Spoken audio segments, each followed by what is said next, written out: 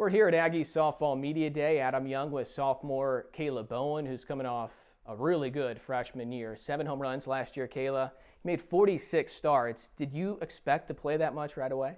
Um, I think one of my goals was to start that much is when I came here because I just went to work really hard and that's something that I've always wanted to do, like come here and play at this level. What was the adjustment like going from high school to college? Was it kind of a culture shock right away? Yeah.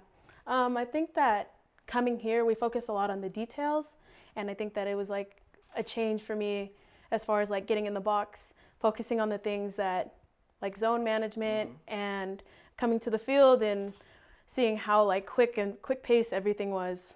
What's it like in preseason practice this year? Are you way more comfortable and do you kind of understand and know what you're getting into this year? Yeah, I think I'm a lot more comfortable than last year. One thing that I really want to focus on this year was being relaxed because last year it was a little tense. Um, didn't know what I was getting into, so I think that I'm growing a little bit mm-hmm. when, as far as it comes to being a leader and getting in the box. You were all over the place defensively last year, middle infield, corner outfield. Uh, you're expected to play first base this year. Is that a change for you, and how's that adjustment been?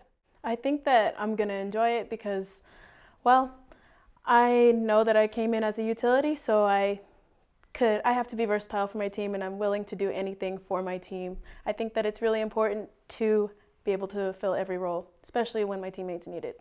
You lost a couple four-year starters in Kelsey and Victoria.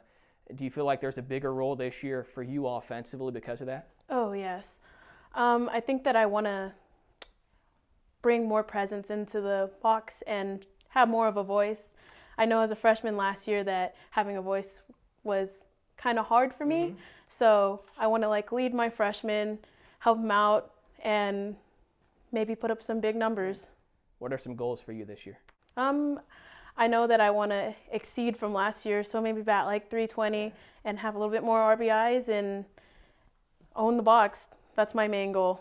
Finally, for you, Kayla, how excited are you to open up against Nebraska and then play Arkansas the opening weekend? You have Arizona again, Arizona State. The list goes on and on. The competition's always good. Oh, yeah, that's one of the main reasons I came here. I always love a challenge, and I want to show that New Mexico State here, like, we're not just some small school. We're somebody that can knock out the big guy on top. Kayla, good luck this year. Thank you. That's sophomore infielder Kayla Bowen.